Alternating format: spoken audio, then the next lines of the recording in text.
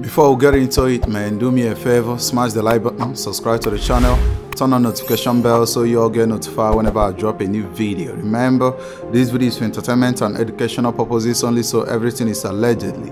But let's get into this, man. don't come to Philly. I don't want to come to Philly. I don't never want to see Philly. Y'all can stick Philly up your ass.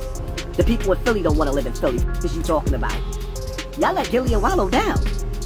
And the best thing that y'all can do is point the finger at me, because y'all beat that young boy. Philly.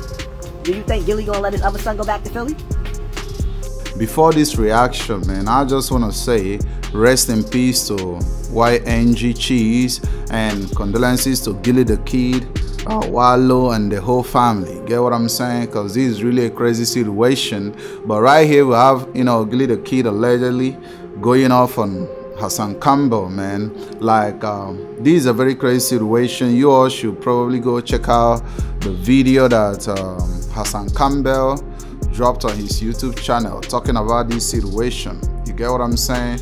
Uh, though the, so many of you all might seem not to agree with what Hassan Campbell always say, but in some situation, man, we have to think about it in two different ways. You get what I'm saying? So Hassan Campbell dropped a video talking about Gillie the Kid's son losing his life in Philly. You get what I'm saying? And he made a lot of points on the video where he was talking about it because you know when you think about it, you realize that Gillie the Kid tried his best. You get what I'm saying to get out of the street came up as a businessman, built one of the, you know, built one of the biggest podcasts um, in the culture right now. You get what I'm saying? So he did something for himself. You feel me? So, but I don't feel like his past have to affect his kids. I don't believe in that, man. I believe in like whatever our parents did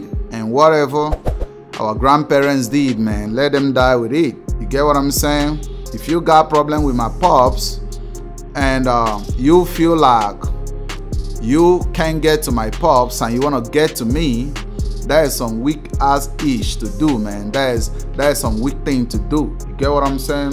I don't feel like if you have problem with my pops you should come to me and kind of trying to get at me so that you can get at my pops. So you know what's on the street saying that all the situation going on Gillie the Kid ain't happy with Hassan Campbell. You get what I'm saying? Because Hassan Campbell said a lot of things, a lot of awful things anyways. You get what I'm saying? To Gillie the Kid, which I think is a very sensitive time for him to say the things he said. You feel me? It's a very sensitive time for him to start, you know, pointing, blaming fingers and stuff like that. And this one crazy thing about YouTubers, man. You know, we all get it we all get ourselves into this same you know into, into this same mistake. You get what i'm saying? Where we come up make videos you know clickbait all this title just to get views blame who we need to blame just to get our voice heard and stuff like that. I think it's crazy. You get what i'm saying? But i think we should start doing that you know more diplomatically. You know we should start considering people as well you know looking at them like they are human too feel me? So hassan campbell coming up to you know blame Gillie the kid blame his past and stuff like that. Yeah we know Gillie the kid right now motivates the youth. Gillie the kid right now looks out for the youth especially in philly. Because if you kind of noticed what happened it was about two weeks after Gillie the kid made a video posted on Instagram kind of condemned the whole, you know, the whole violence that is going on in Philly. After two weeks, you know, his son got hit up. You feel me? So it's really crazy, for real.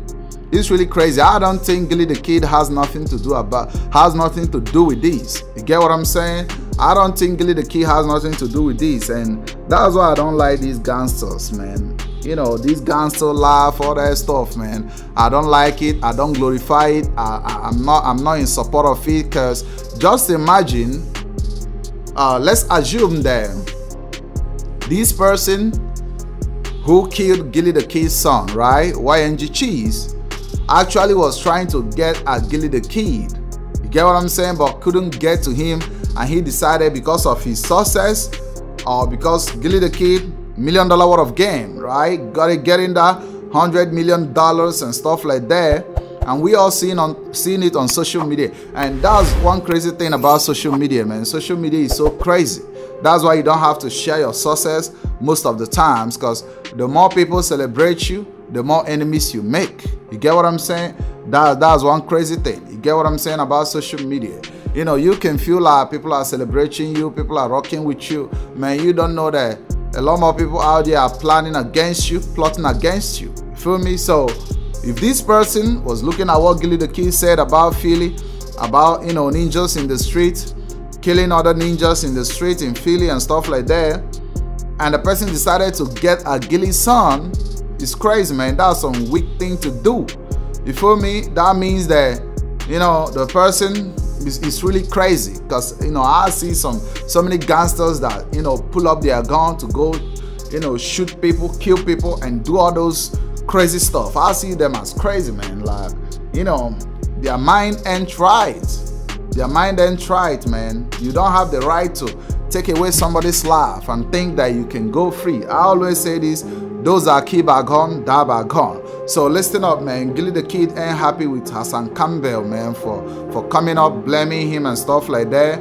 You know, blaming his past as a gangster rapper and all that stuff that he has done in the past. You know, using it to kind of, you know, to kind of make a sense out of out of no sense. You get what I'm saying? Gillie the Kid ain't happy with that, so Gillie the Kid goes off on him, was on the streets saying that, you know, Gillie the Kid said when he get back on social media, man, he's going to make a proper, a proper speech on social media. He's going to speak on it because it's actually a crazy situation right now. You feel me?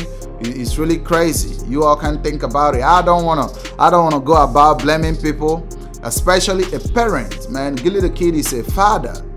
He lost his son and listen up, man. His grown-up son, who who is already a grown-up man, 25 years. So you watch your son grow. You make all this investment. You make sure they are good. You get what I'm saying? You make sure that you look out for them and stuff like that. And at the end of the day, man, they die. Remember, no parents is happy to bury their kids.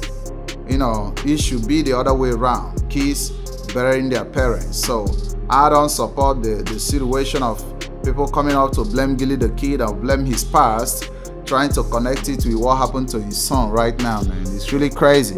And if you're in the street watching this video, man, I, I would tell you get out of the street, man. Because, you know, the street ain't doing us no good. It's destroying lives, it's destroying properties, it's destroying the leaders of tomorrow. So nothing good about the street, for real. You get what I'm saying? But you all go ahead and share your opinions under the comment section. Tell me what you all think. Don't forget to smash the like button, subscribe to the channel, turn on notification bell so you all get notified whenever I drop a new video. Remember, this video is for entertainment and educational purposes only, so everything is allegedly. Catch you guys later, man.